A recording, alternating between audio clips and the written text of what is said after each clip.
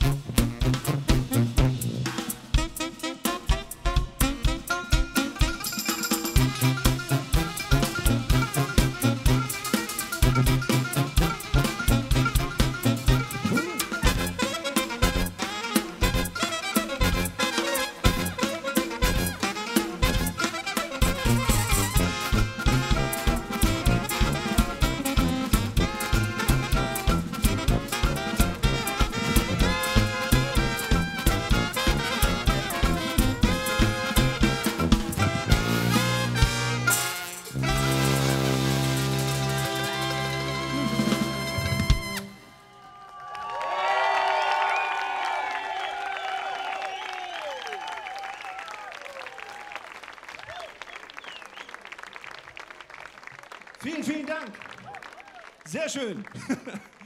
Ihr macht es uns echt leicht. Mit Blasmusik auf dem Rock'n'Roll Festival. Wunderbar. ja, Sachsen. Irgendwie geht es immer wieder um Sachsen und das Bild, das Sachsen so abgibt, das ist meistens kein sehr fortschrittliches. Äh, aber wir haben jetzt einfach wirklich viele Jahre überall Musik gemacht. Wir haben Workshops an Schulen gemacht, weil wir uns gedacht haben, bei den Kindern, da können wir uns dort wenigstens noch etwas erwarten. Da ist noch einiges möglich. So und haben dort wirklich mit, ich weiß nicht wie viel, ich glaube an die 5000 Kinder äh, Workshops gemacht. Und äh, wir haben gesehen, überall in Sachsen, aber wahrscheinlich auch hier in Brandenburg, gibt es einfach sehr, sehr viele geile Leute, die genau solche Ansätze unterstützen, die einfach was reißen wollen und die Unterstützung brauchen und die sind überall. Eine, einige der geilsten Initiativen, die ich persönlich kenne, Mission Lifeline zum Beispiel, so, ne, kommt aus Dresden. Irgendwie hängt das ja auch wieder zusammen, dass dort, wo es einfach irgendwie am finstersten ist, immer noch ein Lichtlein brennt. Ob es in Döbeln ist oder ob es in Oschatz ist, wir kennen überall Leute und das ist sehr, sehr geil. Und das freut mich und es freut mich, dass es solche Festivals gibt, wo wir zusammenkommen und einfach ein bisschen Spaß haben und uns vergewissern, dass wir vielleicht doch so ein kleines bisschen richtig ticken und nicht doch irgendwie den Schuss nicht gehört haben. Vielen Dank fürs Kommen.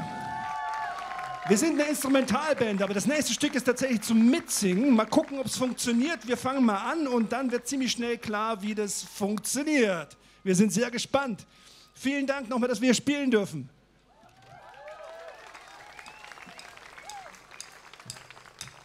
Thank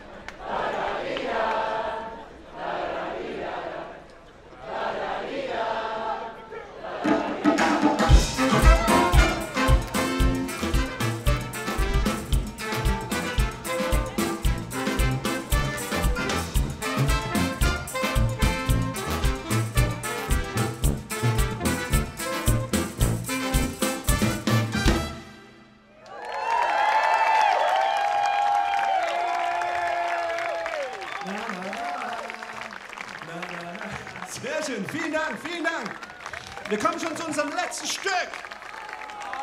Burkan Ciocek. Jo? Ja, äh, viel Spaß. Viel Spaß noch mit dem Festival, mit den kommenden Bands. Vielen Dank an die Organisatoren und Organisatorinnen und an den geilen Sound. Yeah, ihr seid die Größten.